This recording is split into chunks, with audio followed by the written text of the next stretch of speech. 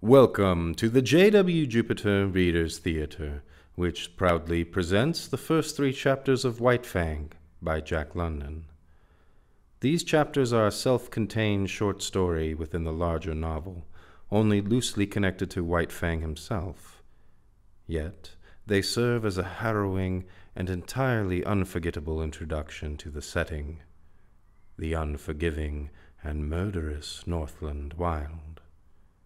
But London says it far better, so do not get too far out in front of the pleasure and presence of the work of art itself. Chapter 1 The Trail of the Meat Dark spruce forest frowned on either side the frozen waterway. The trees had been stripped by a recent wind of their white covering of frost, and they seemed to lean toward each other, black and ominous in the fading light. A vast silence reigned over the land. The land itself was a desolation, lifeless, without movement, so lone and cold that the spirit of it was not even that of sadness. There was a hint in it of laughter, but of a laughter more terrible than any sadness, a laughter that was mirthless as the smile of the Sphinx, a laughter cold as the frost and partaking of the grimness of infallibility. It was the masterful and incommunicable wisdom of eternity, laughing at the futility of life and the effort of life it was the wild, the savage, frozen hearted Northland wild. But there was life abroad in the land, and defiant. Down the frozen waterway toiled a string of wolfish dogs. Their bristly fur was rimed with frost.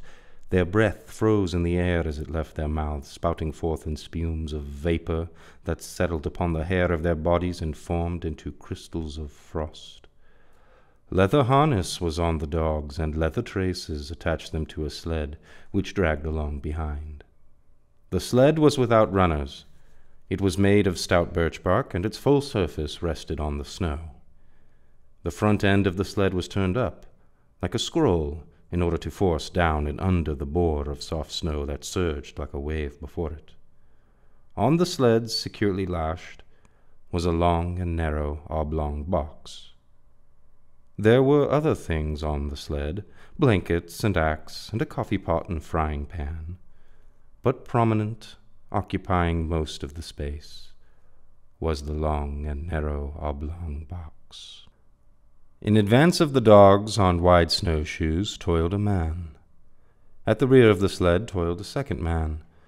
On the sled, in the box, lay a third man whose toil was over a man whom the wild had conquered and beaten down until he would never move nor struggle again. It is not the way of the wild to like movement. Life is an offense to it, for life is movement, and the wild aims always to destroy movement. It freezes the water to prevent it running to the sea. It drives the sap out of the trees till they are frozen to their mighty hearts. And most ferociously and terribly of all does the wild harry and crush into submission man. Man, who is the most restless of life, ever in revolt against the dictum that all movement must, in the end, come to the cessation of movement. But at front and rear, unawed and indomitable, toiled the two men who were not yet dead. Their bodies were covered with fur and soft tanned leather. Eyelashes and cheeks and lips were so coated with the crystals from their frozen breath that their faces were not discernible. This gave them the seeming of ghostly masks undertakers in a spectral world at the funeral of some ghost. But under it all they were men, penetrating the land of desolation and mockery and silence, puny adventurers bent on colossal adventure, pitting themselves against the might of a world as remote and alien and pulseless as the abysses of space. They travelled on without speech, saving their breath for the work of their bodies. On every side was the silence, pressing upon them with a tangible presence.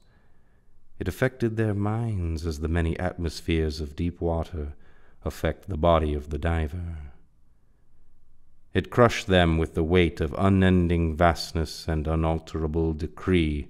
It crushed them into the remotest recesses of their own minds, pressing out of them, like juices from the grape, all the false ardors and exaltations and undue self values of the human soul, until they perceive themselves finite and small, specks and motes, moving with weak cunning and little wisdom amidst the play and interplay of the great blind elements and forces.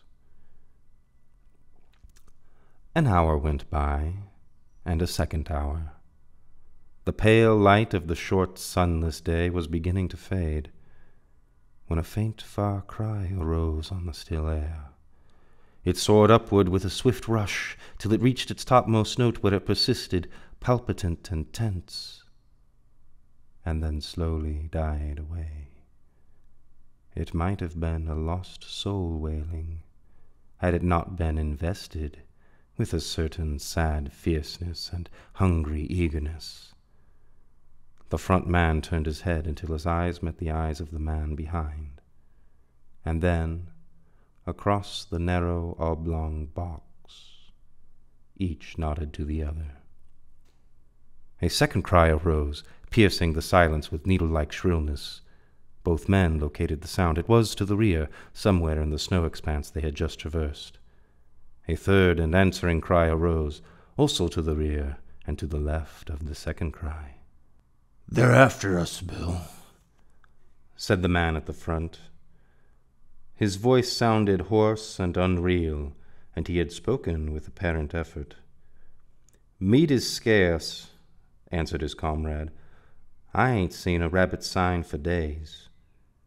Thereafter they spoke no more, though their ears were keen for the hunting cries that continued to rise behind them. At the fall of darkness, they swung the dogs into a cluster of spruce trees on the edge of the waterway and made a camp. The coffin, at the side of the fire, served for a seat and table. The wolf dogs, clustered on the far side of the fire, snarled and bickered among themselves, but evinced no inclination to stray off into the darkness. Seems to me, Henry, they're staying remarkable close to camp, Bill commented. Henry, squatting over the fire and settling the pot of coffee with a piece of ice, nodded. Nor did he speak till he had taken his seat on the coffin and begun to eat. They know where their hides is safe, he said. They'd sooner eat grub than be grub. They're pretty wise, them dogs. Bill shook his head. Oh, I don't know. His comrade looked at him curiously. First time I ever heard you say anything about their not being wise. Henry, said the other, munching with deliberation the beans he was eating, did you happen to notice the way them dogs kicked up when I was a feedin' 'em? They did cut up more'n usual, Henry acknowledged. How many dogs have we got, Henry? Six. Well, Henry, Bill stopped for a moment in order that his words might gain greater significance. As I was saying, Henry, we've got six dogs. I took six fish out of the bag. I gave one fish to each dog, and Henry, I was one fish short. You counted wrong. We've got six dogs, the other reiterated dispassionately. I took out six fish. One ear didn't get no fish. I came back to the bag afterward and got him his fish. We've only got six dogs, Henry said. Henry, Bill went on, I won't say they was all dogs. but there was seven of 'em that got fish. Henry stopped eating to glance across the fire and counted the dogs. There's only six now, he said. I saw the other one run off across the snow, Bill announced with cool positiveness. I saw seven. His comrade looked at him commiseratingly and said, I'll be almighty glad when this trip's over. What do you mean by that? Bill demanded. I mean that this load of iron is getting on your nerves and that you're beginning to see things.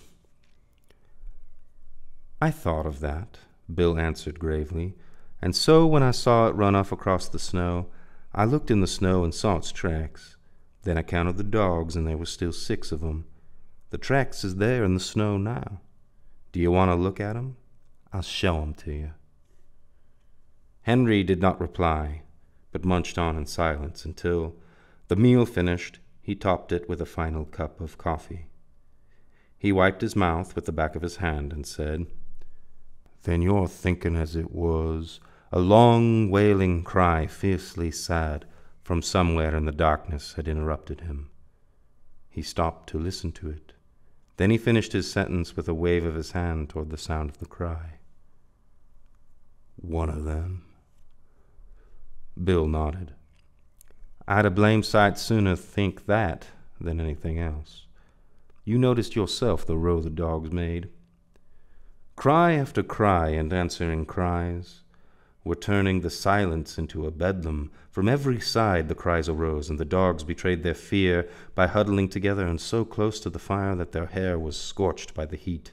Bill threw on more wood before lighting his pipe.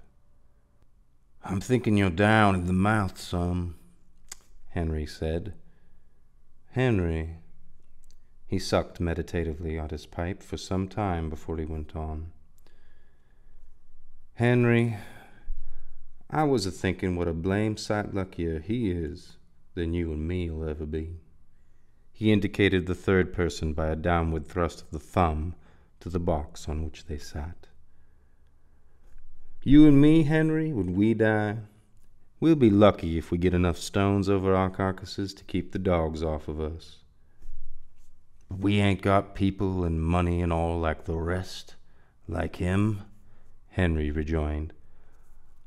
Long distance funerals is something you and me can't exactly afford. What gets me, Henry, is what a chap like this, that's a lord or something in his own country, that's never had to bother about grub nor blankets, why he comes a button round the God forsaken ends of the earth. That's what I can't exactly see. He might have lived to a ripe old age if he'd stayed to home, Henry agreed. Bill opened his mouth to speak, but changed his mind. Instead, he pointed toward the wall of darkness that pressed about them from every side. There was no suggestion of form in the utter blackness. Only could be seen a pair of eyes gleaming like live coals. Henry indicated with his head a second pair and a third. A circle of the gleaming eyes had drawn about their camp. Now and again a pair of eyes moved or disappeared to appear again a moment later. The unrest of the dogs had been increasing and they stampeded in a surge of sudden fear to the near side of the fire, cringing and crawling about the legs of the men. In the scramble, one of the dogs had been overturned on the edge of the fire, and it had yelped with pain and fright as the smell of its singed coat possessed the air. The commotion caused the circle of eyes to shift restlessly for a moment, and even to withdraw a bit, but it settled down again as the dogs became quiet. Henry, it's a blame misfortune to be out of ammunition. Bill had finished his pipe and was helping his companion spread the bed of fur and blanket upon the spruce boughs, which he had laid over the snow before supper. Henry grunted and began unlacing his moccasins. How many cartridges did you say you had left? he asked. Three, came the answer, and I wish 'twas three hundred. Then I'd show 'em what for, damn 'em! He shook his fist angrily at the gleaming eyes and began securely to prop his moccasins before the fire. And I wish this cold snap'd break, he went on. It's been fifty below for two weeks now, and I wished I'd never started on this trip, Henry. I don't like the looks of it. I don't feel right somehow. And while I'm wishing, I wish this trip was over and done with, and you and me are sitting by the fire in Fort McGurry just about now and playing cribbage. That's what I wished. Henry grunted and crawled into bed. As he dozed off, he was aroused by his comrade's voice. Say, Henry, that other one that come in and got a fish, why didn't the dogs pitch into it? That's what's bothering me. You're bothering too much, Bill, came the sleepy response. You was never like this before. You just shut up now and go to sleep, and you'll be all hunky dory in the morning. Your stomach's sour. That's what's bothering you. The men slept, breathing heavily, side by side under the one covering. The fire died down and the gleaming eyes drew closer the circle they had flung about the camp. The dogs clustered together in fear, now and again snarling menacingly as a pair of eyes drew close. Once their uproar became so loud that Bill woke up. He got out of bed carefully, so as not to disturb the sleep of his comrade, and threw more wood on the fire. As it began to flame up, the circle of eyes drew farther back. He glanced casually at the huddling dogs. He rubbed his eyes and looked at them more sharply. Then he crawled back into the blankets. Henry, he said. Oh, Henry. Henry groaned as he passed from sleep to waking and demanded, What's what's wrong now? Nothing, came the answer. Only there's seven of of 'em again. I just counted. Henry acknowledged receipt of the information with a grunt that slid into a snore as he drifted back into sleep. In the morning it was Henry who woke first and routed his companion out of bed. Daylight was yet three hours away, though it was already six o'clock, and in the darkness Henry went about preparing breakfast, while Bill rolled the blankets and made the sled ready for lashing. Say, Henry, he asked suddenly, how many dogs did you say we had? Six. Wrong, Bill proclaimed triumphantly. Seven again? Henry queried. No, five. One's gone. The hell? Henry cried in wrath, leaving the cooking to come and count the dogs. You're right, Bill, he concluded. Fatty's gone. And he went like greased lightning once he got started. Couldn't have seen him for smoke. No chance at all, Henry concluded. They just swallowed him alive. I bet he was yelping as he went down their throats, damn 'em. He always was a fool dog, said Bill. But no fool dog ought to be fool enough to go off and commit suicide that way. He looked over the remainder of the team with a speculative eye that summed up instantly the salient traits of each animal. I bet none of the others would do it. Couldn't drive 'em away from the fire with a club, Bill agreed. I always did think there was something wrong with Fatty anyway. And this was the epitaph of a dead dog on the Northland Trail, less scant than the epitaph of many another dog, of many a man.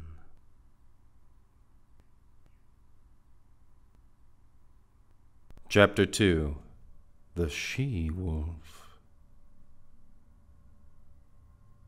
Breakfast eaten and the slim camp outfit lashed to the sled. The men turned their backs on the cheery fire and launched out into the darkness.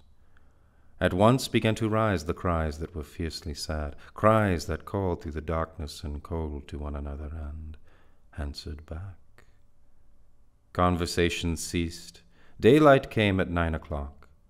At midday, the sky to the south warmed to rose color, and marked where the bulge of the earth intervened between the meridian sun and the northern world. But the rose color swiftly faded.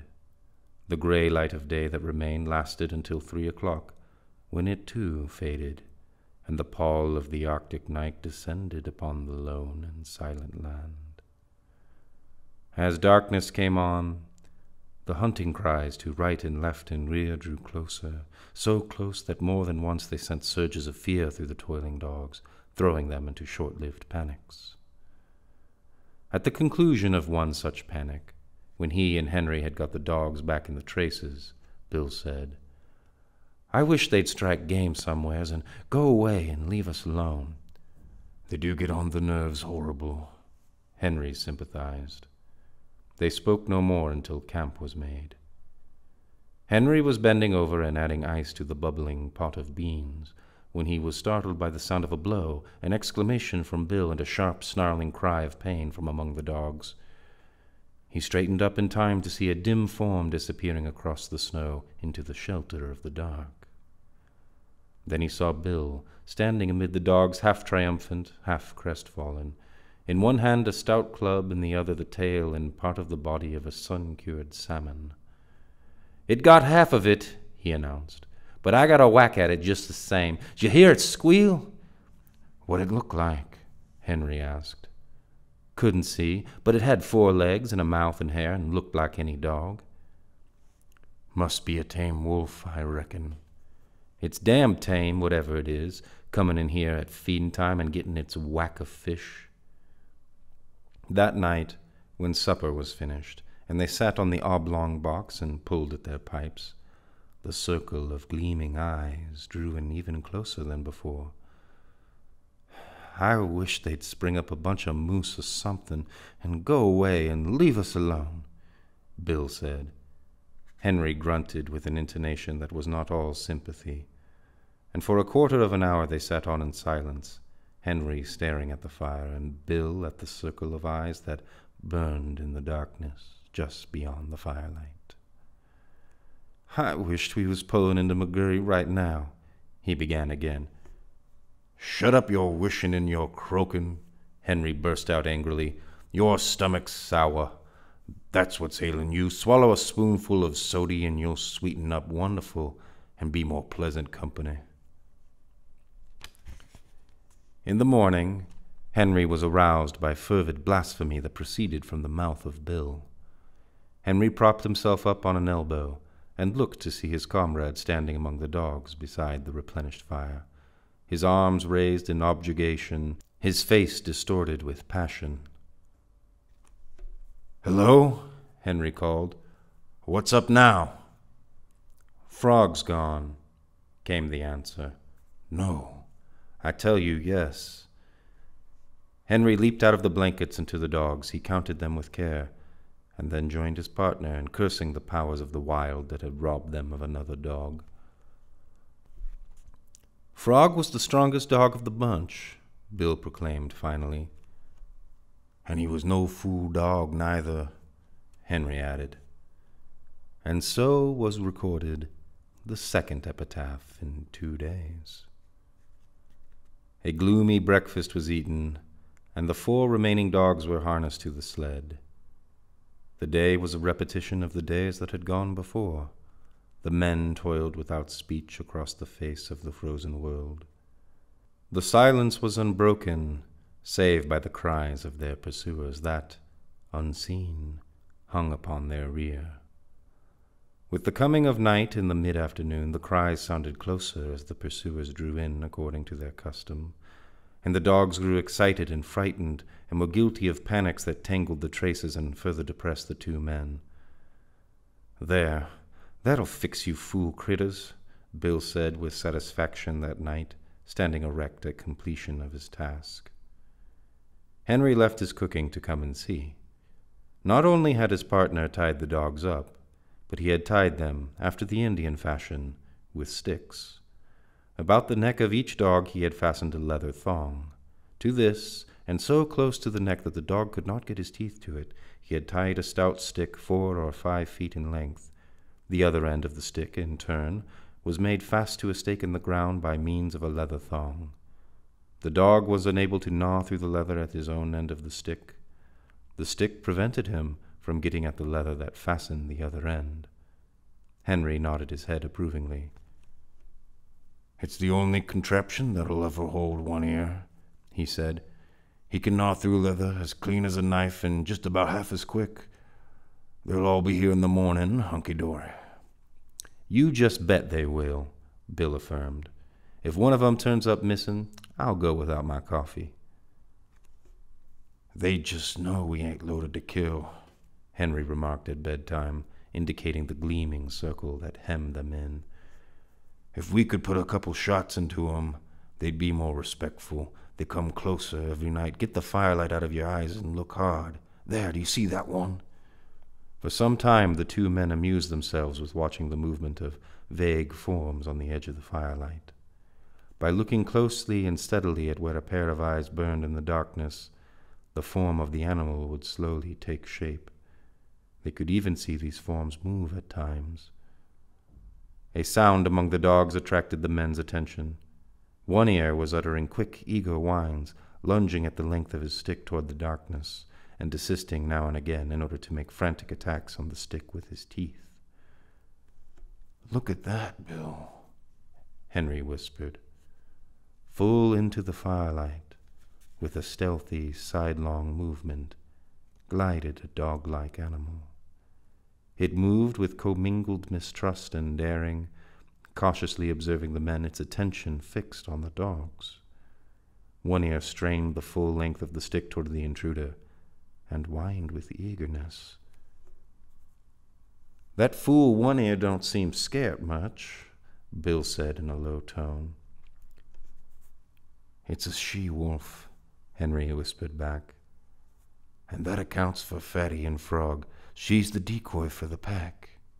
She draws out the dog, and then all the rest pitches in and eats 'em up. The fire crackled. A log fell apart with a loud spluttering noise. At the sound of it, the strange animal leaped back into the darkness. Henry, I'm a thinking, Bill announced. Thinking what? I'm a thinking that was the one I lambasted with the club. Ain't the slightest doubt in the world, was Henry's response. And right here I want to remark, Bill went on, that that animal's familiarity with campfires is suspicious and immoral. It knows for certain more'n a self-respecting wolf ought to know, Henry agreed. A wolf that knows enough to come in with dogs at feeding time has had experiences.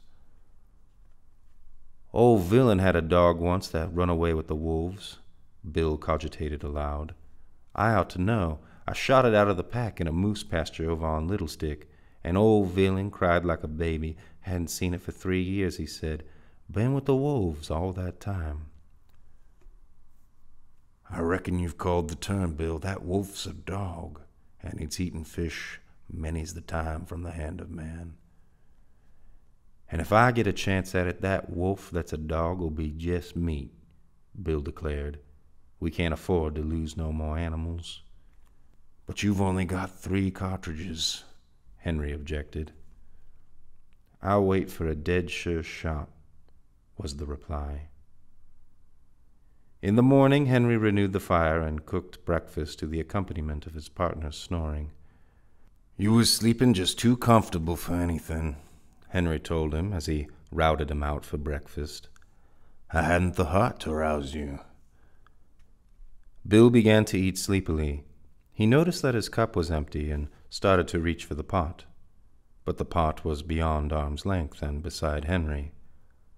Say, Henry, he chided gently, ain't you forgot something?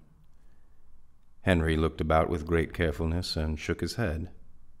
Bill held up the empty cup. You don't get no coffee, Henry announced. Ain't run out? Bill asked anxiously. Nope. Ain't thinking it'll hurt my digestion? Nope. A flush of angry blood pervaded Bill's face. Then it's just warm and anxious I am to be hearing you explain yourself, he said. Spanker's gone, Henry answered. Without haste, with the air of one resigned to misfortune, Bill turned his head, and from where he sat, counted the dogs. How'd it happen? he asked apathetically. Henry shrugged his shoulders. Don't know. Unless One Ear gnawed him loose. He couldn't have done it himself, that's sure. The darned cuss, Bill spoke gravely and slowly, with no hint of the anger that was raging within. Just because he couldn't chew himself loose, he, he chews Spanker loose. Well, Spanker's troubles is over anyway. I guess he's digested by this time and cavorting over the landscape in the bellies of twenty different wolves, was Henry's epitaph on this, the latest lost dog. Have some coffee, Bill. But Bill shook his head. Go on, Henry pleaded, elevating the pot. Bill shoved his cup aside. I'll be ding dong danged if I do. I said I wouldn't if ary dog turned up any missin', and I won't. It's darn good coffee, Henry said enticingly. But Bill was stubborn, and he ate a dry breakfast, washed down with mumbled curses at One Ear for the trick he had played. I'll tie 'em up out of reach of each other tonight, Bill said as they took the trail. They had traveled little more than a hundred yards when Henry, who was in front, bent down and picked up something with which his snowshoe had collided. It was dark, and he could not see it, but he recognized it by the touch. He flung it back so that it struck the sled and bounced along until it fetched up on Bill's snowshoes. Maybe you'll need that in your business, Henry said. Bill uttered an exclamation.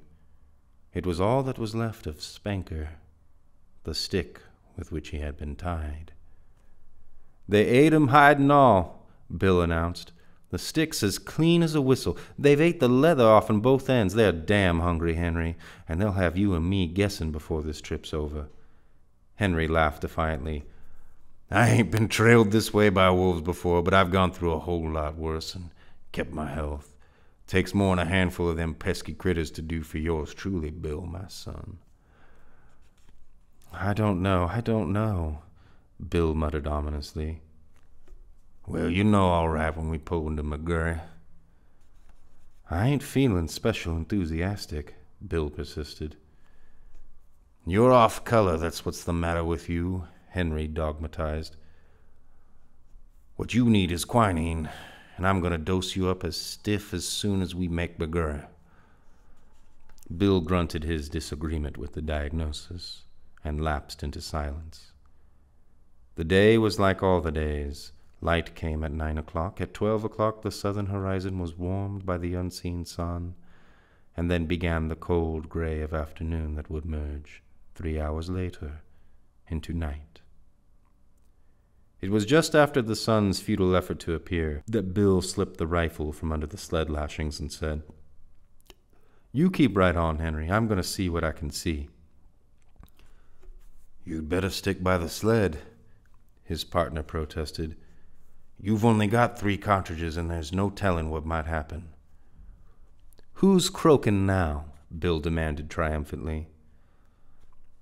Henry made no reply and plodded on alone, though often he cast anxious glances back into the gray solitude where his partner had disappeared. An hour later, taking advantage of the cut-offs around which the sled had to go, Bill arrived. They're scattered and ranging along wide, he said, keeping up with us and looking for game at the same time. You see, they're sure of us, only they know they've got to wait to get us. In the meantime, they're willing to pick up anything eatable that comes handy. You mean they think they're sure of us? Henry objected pointedly. But Bill ignored him. I seen some of 'em. They're pretty thin. They ain't had a bite in weeks, I reckon, outside of Fatty and Frog and Spanker and there's so many of 'em that that didn't go far. They're remarkable thin. Their ribs is like washboards, and their stomachs is right up against their backbones. They're pretty desperate, I can tell you. They'll be going mad yet, and then watch out. A few minutes later, Henry, who was now traveling behind the sled, emitted a low, warning whistle. Bill turned and looked, then quietly stopped the dogs. To the rear, from around the last bend and plainly into view, on the very trail they had just covered, trotted a furry, slinking form. Its nose was to the trail, and it trotted with a peculiar, sliding, effortless gait. When they halted, it halted, throwing up its head and regarding them steadily with nostrils that twitched as it caught and studied the scent of them. It's the she wolf, Bill whispered. The dogs had lain down in the snow, and he walked past them to join his partner at the sled. Together they watched the strange animal that had pursued them for days and that had already accomplished the destruction of half their dog team. After a searching scrutiny, the animal trotted forward a few steps. This it repeated several times, till it was a short hundred yards away. It paused, head up, close by a clump of spruce trees, and with sight and scent studied the outfit of the watching men. It looked at them in a strangely wistful way, after the manner of a dog. But in its wistfulness there was none of the dog affection. It was a wistfulness bred of hunger, as cruel as its own fangs, as merciless as the frost itself. It was large for a wolf, its gaunt frame advertising the lines of an animal that was among the largest of its kind. Stands pretty close to two feet and a half at the shoulders, Henry commented, and I'll bet it ain't far from five feet long.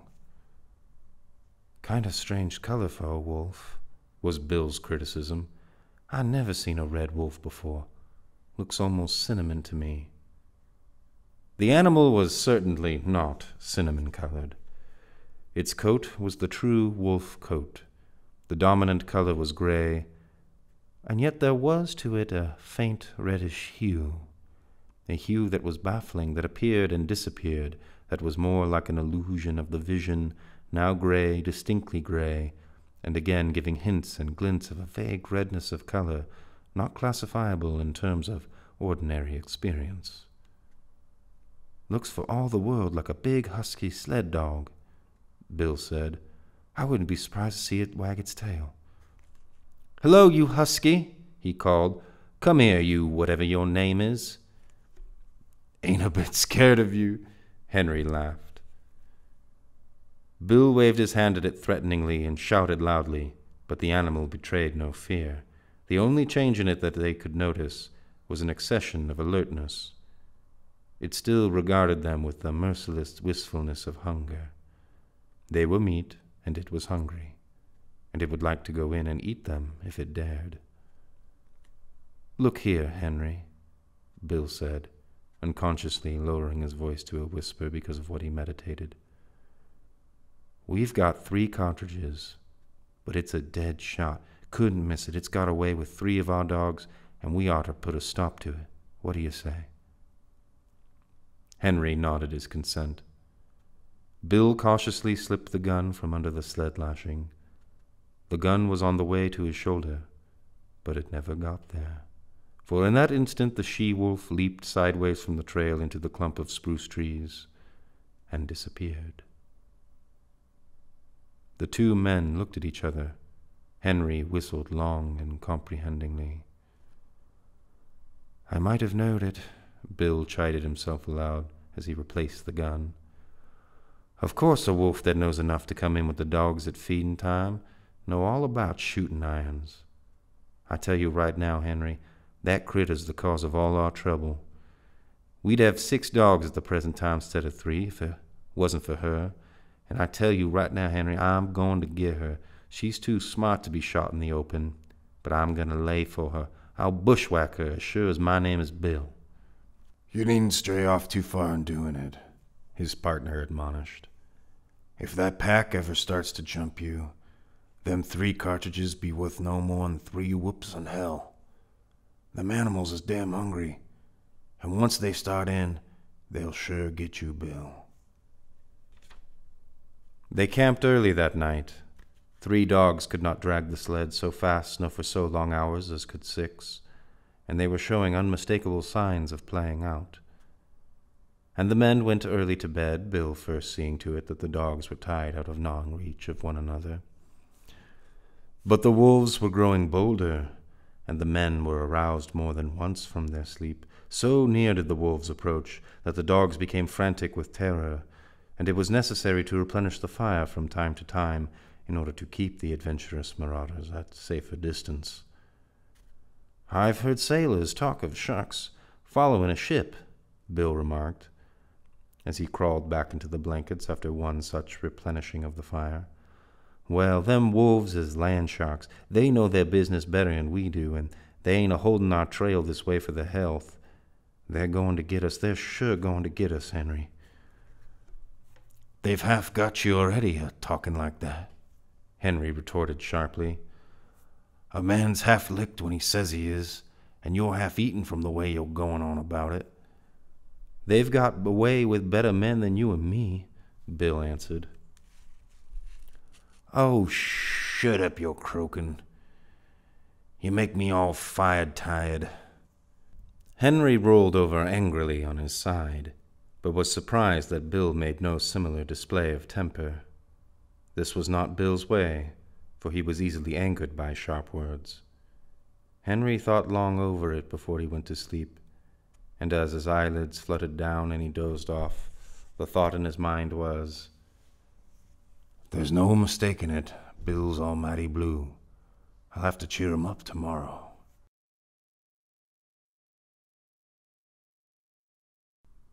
Chapter 3 The Hunger Cry The day began auspiciously.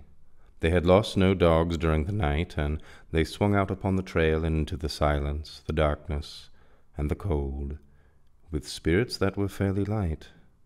Bill seemed to have forgotten his forebodings of the previous night, and even waxed facetious with the dogs when, at midday, they overturned the sled on a bad piece of trail. It was an awkward mix up. The sled was upside down and jammed between a tree trunk and a huge rock, and they were forced to unharness the dogs in order to straighten out the tangle. The two men were bent over the sled and trying to right it, when Henry observed One Ear sidling away. Here, you, One Ear! he cried, straightening up and turned around on the dog. But One Ear broke into a run across the snow, his traces trailing behind him. And there, out in the snow of their back track, was the she wolf waiting for him. As he neared her, he became suddenly cautious. He slowed down to an alert and mincing walk, and then stopped. He regarded her carefully and dubiously, yet desirefully. She seemed to smile at him, showing her teeth in an ingratiating rather than a menacing way. She moved toward him a few steps, playfully, and then halted. One Ear drew near to her, still alert and cautious, his tail and ears in the air, his head held high. He tried to sniff noses with her, but she retreated playfully and coyly. Every advance on his part was accompanied by a corresponding retreat on her part. Step by step, she was luring him away from the security of his human companionship once, as though a warning had in vague ways flitted through his intelligence. He turned his head and looked back at the overturned sled, at his teammates, and at the two men who were calling to him. But whatever idea was forming in his mind was dissipated by the she wolf, who advanced upon him, sniffed noses with him for a fleeting instant, and then resumed her coy retreat before his renewed advances. In the meantime, Bill had bethought himself of the rifle, but it was jammed beneath the overturned sled, and by the time Henry had helped him to right the load, One Ear and the she wolf were too close together, and the distance too great to risk a shot. Too late, One Ear learned his mistake. Before they saw the cause, the two men saw him turn and start to run back toward them. Then, approaching at right angles to the trail and cutting off his retreat, they saw a dozen wolves, lean and gray, bounding across the snow. On the instant, The she wolf's coyness and playfulness disappeared. With a snarl, she sprang upon One Ear. He thrust her off with his shoulder, and, his retreat cut off and still intent on regaining the sled, he altered his course in an attempt to circle around to it. More wolves were appearing every moment and joining in the chase. The she wolf was one leap behind One Ear and holding her own. Where are you going? Henry suddenly demanded, laying his hand on his partner's arm. Bill shook it off. I won't stand it, he said. They ain't a going to get any more of our dogs if I can help it. Gun in hand, he plunged into the underbrush that lined the side of the trail. His intention was apparent enough. Taking the sled as the center of the circle that One Ear was making, Bill planned to tap that circle at a point in advance of the pursuit. With his rifle in the broad daylight, it might be possible for him to awe the wolves and save the dog. Say, Bill, Henry called after him. Be careful. Don't take no chances. Henry sat down on the sled and watched. There was nothing else for him to do. Bill had already gone from sight, but now and again, appearing and disappearing amongst the underbrush and the scattered clumps of spruce, could be seen One Ear. Henry judged his case to be hopeless. The dog was thoroughly alive to its danger, but it was running on the outer circle, while the wolf pack was running on the inner and shorter circle. It was vain to think of One Ear so outdistancing his pursuers as to be able to cut across their circle in advance of them and to regain the sled. The different lines were rapidly approaching a point. Somewhere out there in the snow, screened from his sight by trees and thickets, Henry knew that the wolf pack, One Ear, and Bill were coming together. All too quickly, far more quickly than he had expected, it happened. He heard a shot, then two shots in rapid succession, and he knew that Bill's ammunition was gone. Then he heard a great outcry of snarls and yelps. He recognized One Ear's yell of pain and terror, and he heard a wolf cry that bespoke a stricken animal. And that was all. The snarls ceased, the yelping died away. Silence settled down again over the lonely land. He sat for a long while upon the sled. There was no need for him to go and see what had happened. He knew it as though it had taken place before his eyes. Once he roused with a start and hastily got the axe out from underneath the lashings but for some time longer he sat and brooded, the two remaining dogs crouching and trembling at his feet. At last he arose in a weary manner, as though all the resilience had gone out of his body, and proceeded to fasten the dogs to the sled. He passed a rope over his shoulder, a man trace, and pulled with the dogs. He did not go far. At the first hint of darkness, he hastened to make a camp, and he saw to it that he had a generous supply of firewood. He fed the dogs, cooked and ate his supper, and made his bed close to the fire. But he was not destined to enjoy that bed. Before his eyes closed, the wolves had drawn too near for safety. It no longer required an effort of the vision to see them. They were all about him in the fire, in a narrow circle, and he could see them plainly in the firelight, lying down, sitting up, crawling forward on their bellies, or slinking back and forth. They even slept. Here and there he could see one curled up in the snow like a dog, taking the sleep that was now denied himself. He kept the fire brightly blazing, for he knew that it alone intervened between the flesh of his body and their hungry fangs. His two dogs stayed close by him, one on either side, leaning against him for protection, crying and whimpering, and at times snarling desperately when a wolf approached a little closer than usual. At such moments, when his dogs snarled, the whole circle would be agitated, the wolves coming to their feet and pressing tentatively forward, a chorus of snarls and eager yelps rising about him.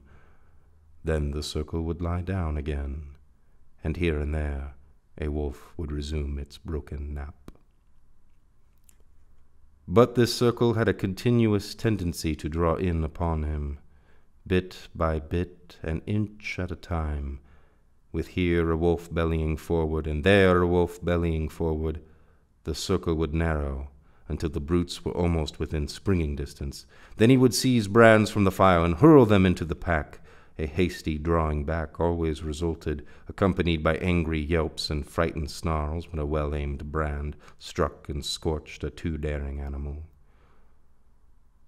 Morning found the man haggard and worn, wide eyed from want of sleep. He cooked breakfast in the darkness, and at nine o'clock, when, with the coming of daylight, the wolf pack drew back, he set upon the task he had planned through the long hours of the night. Chopping down young saplings, he made them crossbars of a scaffold by lashing them high up to the trunks of standing trees, using the sled lashing for a heaving rope, and with the aid of the dogs, he hoisted the coffin to the top of the scaffold. They got Bill, and they may get me. But they'll sure never get you, young man, he said, addressing the dead body in its tree sepulchre. Then he took the trail, the lightened sled bounding along behind the willing dogs, for they too knew that safety lay only in the gaining of Fort McGurry. The wolves were now more open in their pursuit, trotting sedately behind and ranging along on either side, their red tongues lolling out, their lean sides showing the undulating ribs with every movement. They were very lean, mere skin bags stretched over bony frames with strings for muscles. So lean that Henry found it in his mind to marvel that they still kept their feet and did not collapse forthright in the snow. He did not dare travel after dark. At midday, not only did the sun warm the southern horizon, but it even thrust its upper rim pale and golden above the skyline. He received it as a sign. The days were growing longer, the sun was returning, but scarcely had the cheer of its light departed than when he went into camp. There were still several hours of gray daylight and somber twilight, and he utilized them in chopping an enormous supply of firewood. With night came horror. Not only were the starving wolves growing bolder, but lack of sleep was telling upon Henry. He dozed despite himself, crouching by the fire, the blankets about his shoulders, the axe between his knees, and on either side a dog pressing close against him. He awoke once and saw in front of him, not a dozen feet away, a big gray wolf, one of the largest of the pack. And even as he looked, the brute deliberately stretched himself after the manner of a lazy dog, yawning full in his face and looking upon him with a possessive eye, as if, in truth, he were merely a delayed meal that was soon to be eaten. This certitude was shown by the whole pack. Fully a score he could count staring hungrily at him or calmly sleeping in the snow. They reminded him of children gathered about a spread table and awaiting permission to begin to eat. And he was the food they were to eat. He wondered how and when the meal would begin. As he piled wood on the fire, he discovered an appreciation of his own body which he had never felt before. He watched his moving muscles and was interested in the cunning mechanism of his fingers. By the light of the fire, he crooked his fingers slowly and repeatedly, now one at a time, now all together, spreading them wide or making quick gripping movements. He studied the nail formation and prodded the fingertips now sharply, and again softly, gauging the while the nerve sensations produced. It fascinated him, and he grew suddenly fond of this subtle flesh of his that worked so beautifully and smoothly and delicately. That he would cast a glance of fear at the wolf circle drawn expectantly about him, and like a blow, the realization would strike him that this wonderful body of his, this living flesh, was no more than so much meat, a quest of ravenous animals, to be torn and slashed by their hungry fangs, to be sustenance to them as the moose and the rabbit had often been sustenance to him. He came out of a doze that was half nightmare to see the red hued she wolf before him. She was not more than half a dozen feet away, sitting in the snow and wistfully regarding him.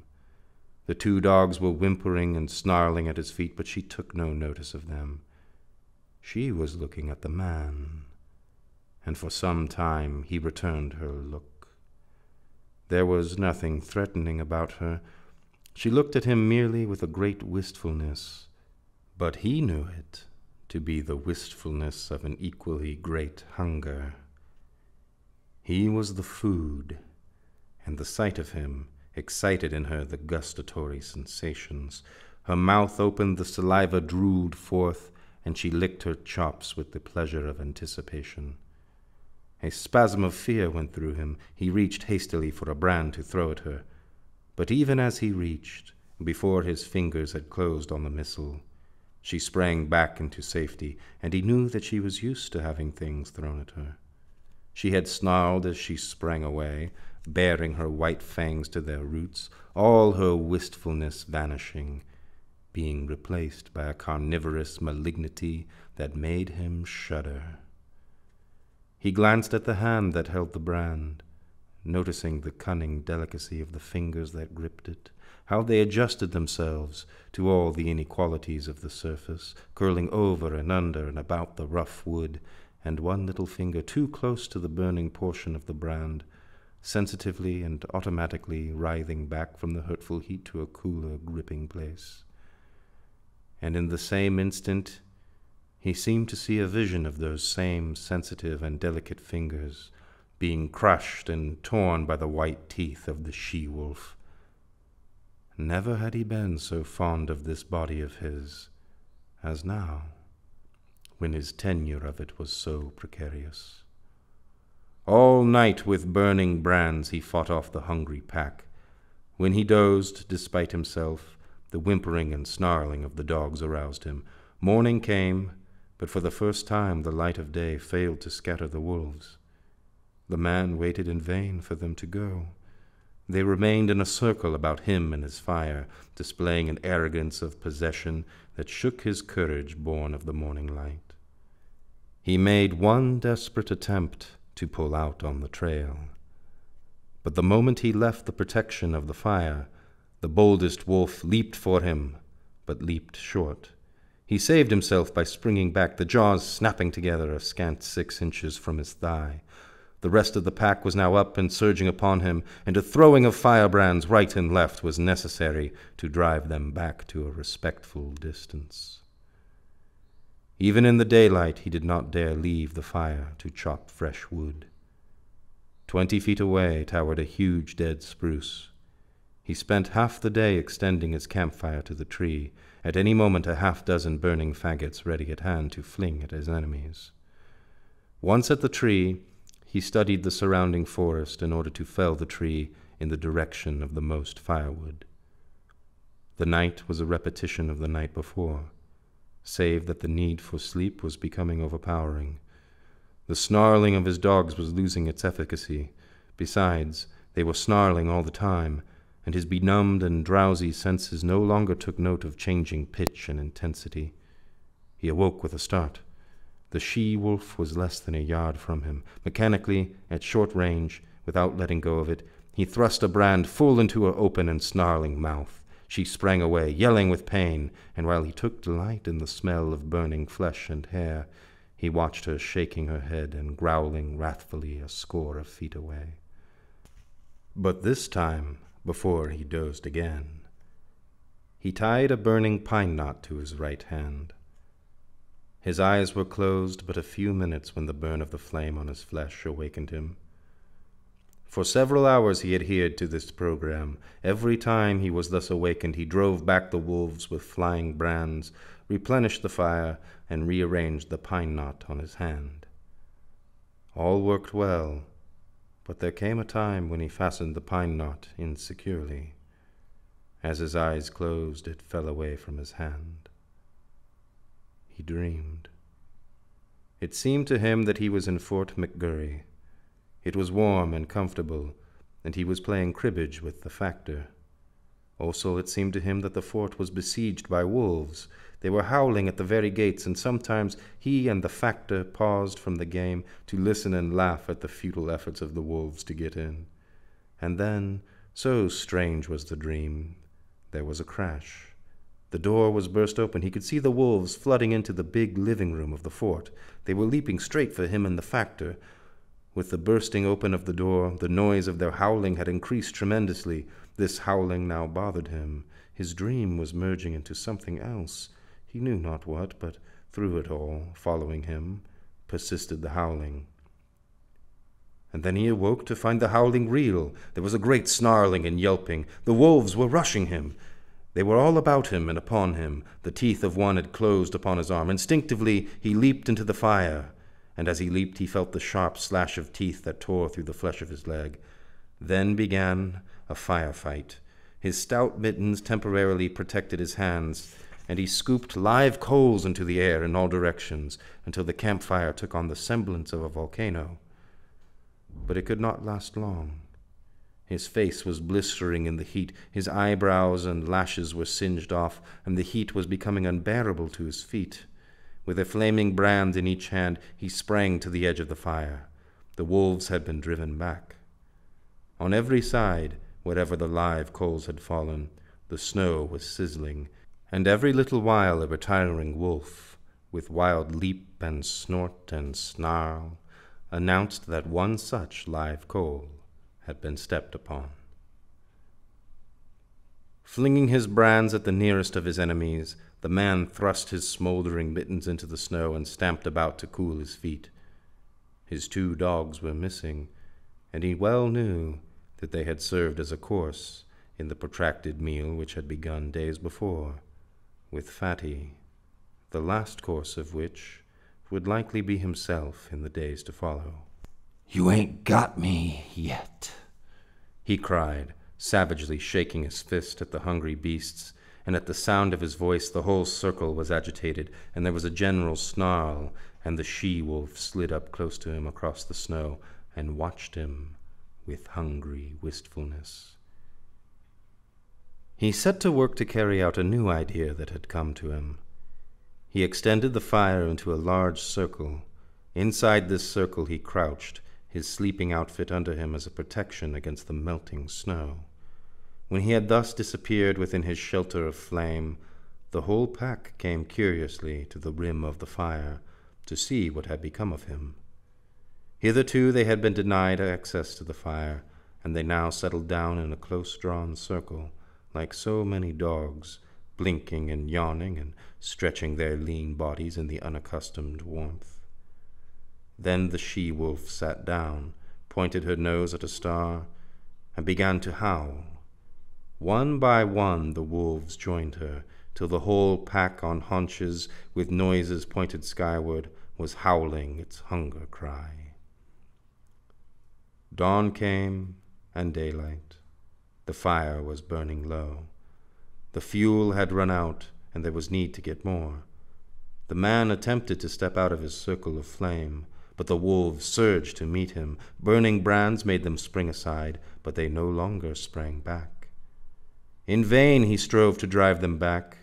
As he gave up and stumbled inside his circle, a wolf leaped for him, missed, and landed with all four feet in the coals. It cried out with terror, at the same time snarling, and scrambled back to cool its paws in the snow. The man sat down on his blankets in a crouching position. His body leaned forward from the hips, his shoulders relaxed and drooping, and his head on his knees advertised that he had given up the struggle. Now and again he raised his head to note the dying down of the fire.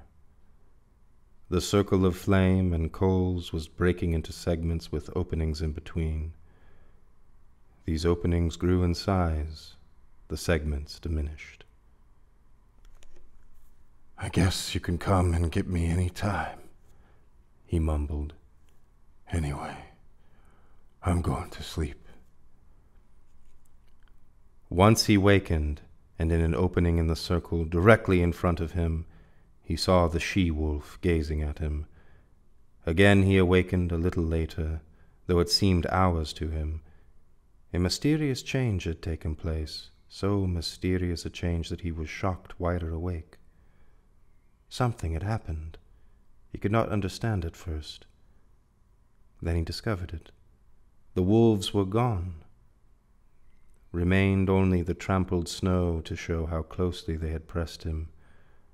Sleep was welling up and gripping him again. His head was sinking down upon his knees when he roused with a sudden start.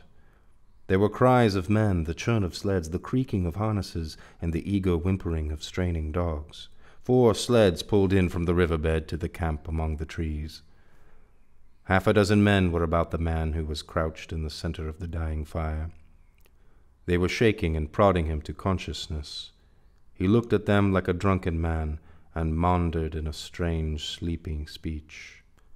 Red she wolf, come in with the dogs at feeding time. First she ate the dog food, then she ate the dogs, and after that she ate Bill. Where's Lord Alfred? One of the men bellowed in his ear, shaking him roughly. He shook his head slowly. No, she didn't need him. He's roosting in a tree at the last camp. Dead? The man shouted. And in a box, Henry answered. He jerked his shoulder petulantly away from the grip of his questioner. Say, you leave me alone. I'm just plumb tuckered out. Go night, everybody. His eyes fluttered and went shut. His chin fell forward on his chest, and even as they eased him down upon the blankets, his snores were rising on the frosty air. But there was another sound. Far and faint it was in the remote distance, the cry of the hungry wolf pack as it took the trail of other meat than the man it had just missed.